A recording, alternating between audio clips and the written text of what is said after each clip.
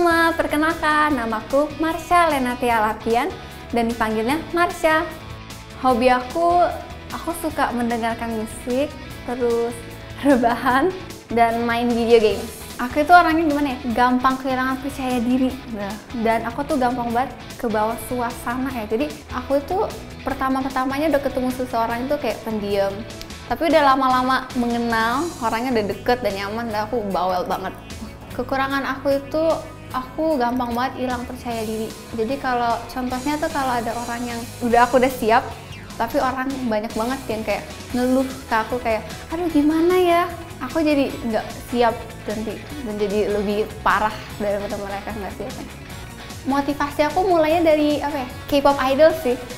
Dan sejak melihat mereka kayak di panggung terus mereka rame-rame aku tuh jadi mulai kayak wah aku pengen mencoba di, di posisi mereka ini adalah barang kesayangan aku. Dan ini adalah buku gambar.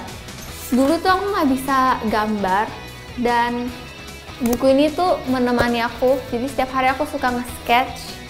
Dan itu kenapa aku sayang banget sama buku ini. Harapan aku masuk JKT48 adalah menjadi orang yang lebih dewasa.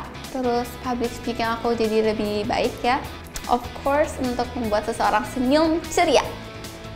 Aku sekarang, hmm, Kak nih. Kenapa? Karena aku suka ya orang yang diem-diem senyum manis gitu, jadi baik.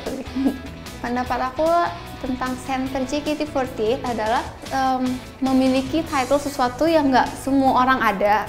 Jadi kalau ditanya aku mau menjadi center JKT48 atau tidak, pasti jawaban aku iya. Karena mempunyai title center itu adalah motivasi aku. Ya mungkin sekarang aku belum bisa tapi suatu saat aku akan bisa.